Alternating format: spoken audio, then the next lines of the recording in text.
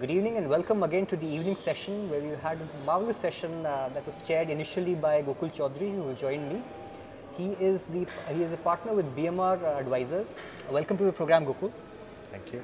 Uh, Gokul, we'd like to know, given the fact that the energy sector and indeed the Indian economy is in a state of flux, going from a statist to a market-driven economy, and energy is going to play a major role, any which way you look at it. Uh, what sort of fiscal incentives or what sort of fiscal profile do you see the government, the new government that's come into power with a more stable uh, positioning, so to say, we are a more stable coalition. What sort of, uh, say, five-year plan for, say, fiscal profiling or fiscal incentivizing of energy in such a way that uh, the power sector as well as the oil and gas sector can develop to give India the power it needs? Can we look at? What would be your recommendations to the government? I think I'll break it up into two parts here for you. One is on the generation of power, and I'll come to that. And the second is, of course, the production of oil and gas, which is significantly required in this country. Uh, there's going to be a steep increase in the demand for oil and gas in this country as we go through a growth pattern.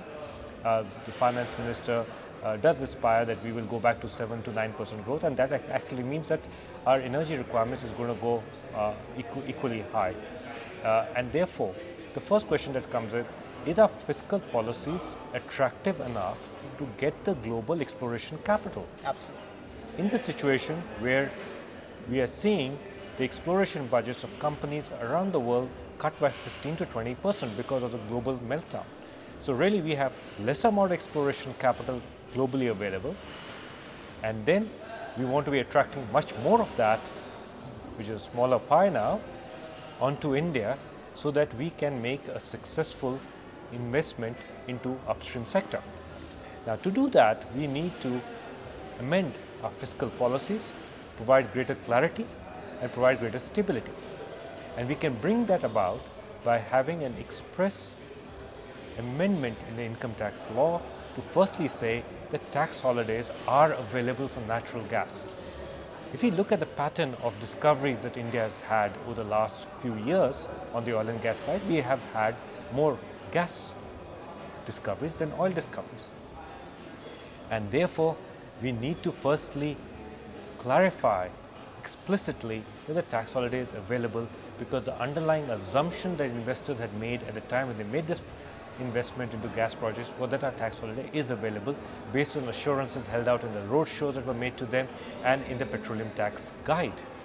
Now, I think the government has to honor that commitment. That's the first part.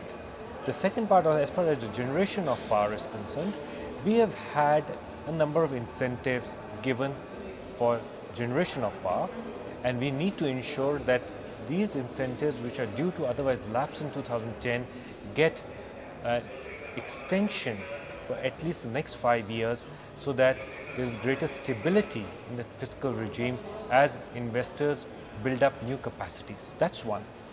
B, we need to make sure that there's not just an incentive for establishing a project, but also to generate maximum returns from the project. And therefore, some type of a generation based incentive plan specifically for renewables is essential. And then coming to the CDM part of it, India certainly has no commitments globally under the Kyoto Protocol, but just as a large responsible nation, we need to be having or setting our own standards, our own benchmarks, and that can happen by providing a fiscal thrust to the entire clean development mechanism. We've had a regulatory thrust which is there, we're having a policy thrust, and we need to have a fiscal thrust now. And the fiscal thrust is the carbon credits, uh, which are certainly getting generated by some of these clean development mechanism projects. Let us try and provide a uh, incentive, or rather, let us remove the disincentive of taxing these carbon credits. These carbon credits are being given to companies and uh, projects in India for engaging in an environmentally sustainable manner. And therefore, if we were to tax those incentives, we're going to actually erode the incentive by a third. So, really, if we erode that incentive by a third, and then if we were to apply a VAT of 12% on them, we are eroding the value of the, of the entire incentive by 50%. That certainly can't be the policy of the country. That on one side you want to incentivize projects by giving them the carbon credits, and on the other side taking away half the benefit through taxes. Uh, so you know that is a regressive, uh, regressive policy because it takes away more than half the benefit. Very true. Great. Uh, now, Gokul, um, you talked about the Kyoto Protocol. It's very interesting. The Copenhagen Convention is uh, coming up shortly. What do you think, from a fiscal perspective, will India's game plan be there? Will India play hardball, or will they accede to it, or how should we attract, in, you know, international investments and still be part of a multilateral system of agreements and secure our own interests also? What would India's game plan be? I think it will be interesting to see how India balances balances both the need for economic development and also the fact that it has to develop in a sustainable manner. At the moment, India has no commitments under Kyoto to bring back uh, its carbon emissions to previous levels. At the same point of time, India needs to hold itself out as a leader in the fight for climate change. And to do that, I think the Prime Minister had in his previous term brought out a national action plan for climate change. He needs to push great, put a greater thrust to it. He needs to get in in-country policies for, for energy efficiency, and there the Bureau of Energy and Efficiency is certainly making the first steps, very useful steps.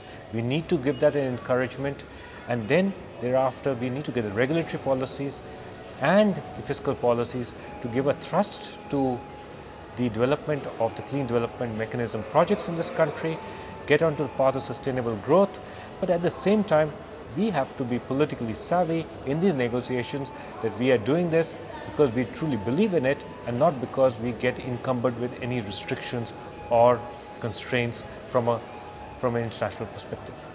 Great.